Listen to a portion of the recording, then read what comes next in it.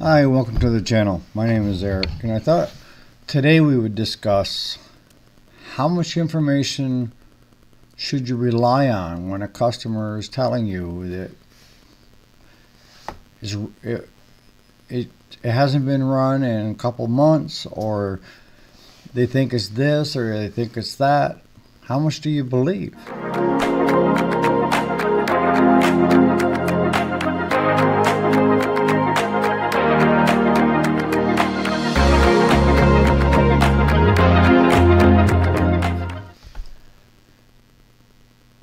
You have to be like a doctor.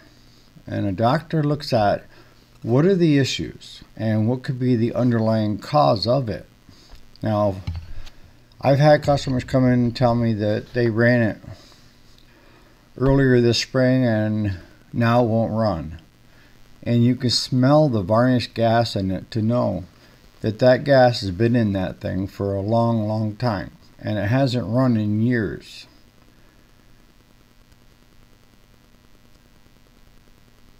You can only take customers' information to a certain extent, but you have to do everything, whether you listen to a customer or the customer just drops it off. It's the same way to take do an intake on it, and that is you bring it in, dump the fuel, check compression, check for fire, put clean fuel in it, and then go from there.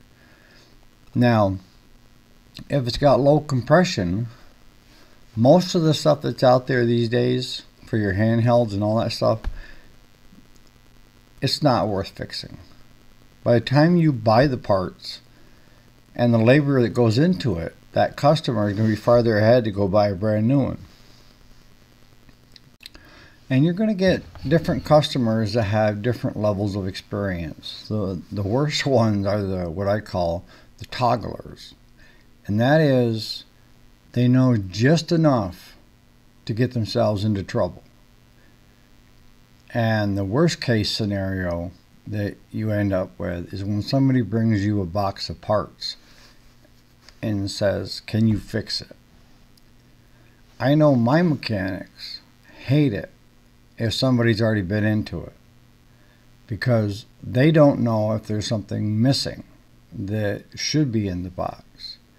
Whereas if we got it before the toggler got to toggling with it, we could tear it apart and, and know what is missing and, and what parts go where, you know, on different equipment. Instead of going and looking up parts diagrams to see how they go together. Most of my customers, and this is a trust building relationship that my customers trust my take on what needs to be done. You know, 99% of the time, it's just do it, Eric. I trust you. You've always treated me fair in the past. Just get it done. Or I appreciate you telling me that, that it's not worth fixing. And what do I owe you? And usually when it's something like that, it's nothing, you know, that because it's something I found right off. Like if it's low compression and a weed eater, I found that right off. Didn't take much of my time, and now the customer can go buy a brand new one.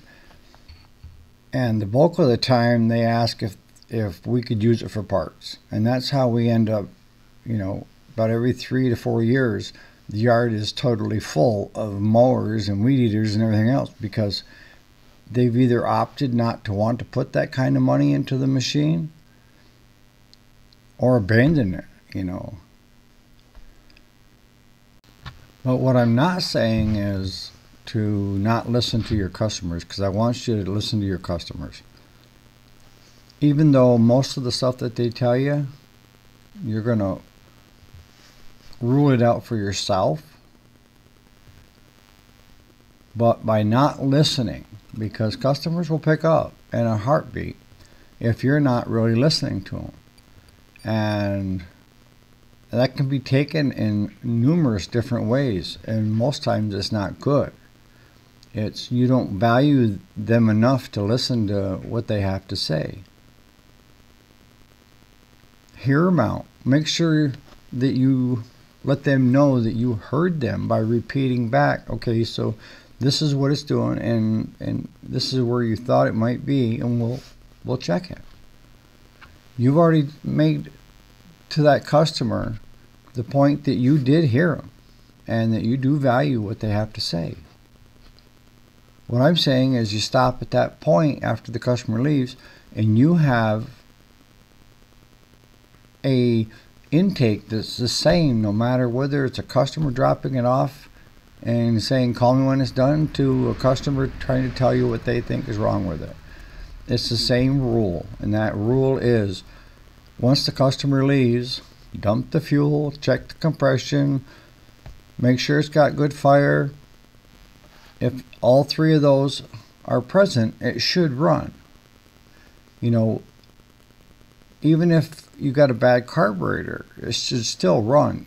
Hit it with some, you know, carburetor cleaner, not starting fluid, carburetor cleaner, and it should fire up. In your shop, you need to have your set of rules of how you're going to do an intake on each piece of equipment and have it as simplified as possible. You don't need to have all this gadgetry to, to tell you if it's a yay or a nay of something that you can fix. But the point I'm trying to make with this video is you can't trust what the customer tells you as being the issue. You have to rule it out yourself. But you also have to make sure that the customer feels like you heard them and you're not talking back down to them like they don't know what the hell they're talking about. You're never rude to a customer. That customer brought it to you because they trust you, right?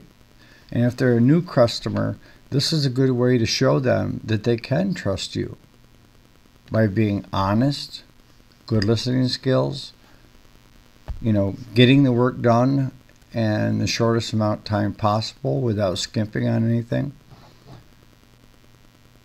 and giving them back something that they can use. It's running now. You solved their problem, or letting them know, okay, this is what we're looking at to cost to fix.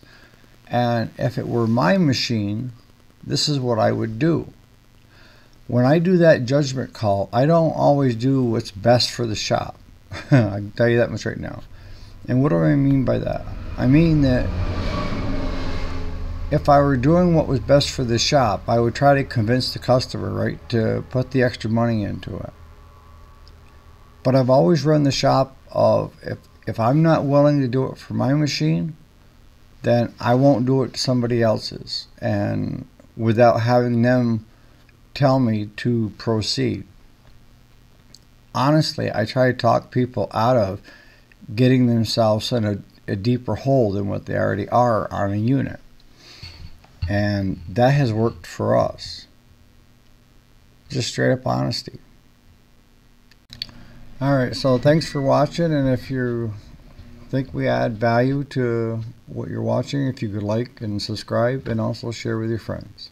So on that, listen to your customers, but have your steps set up in the shop of how you're going to do every piece of equipment when it comes through that door.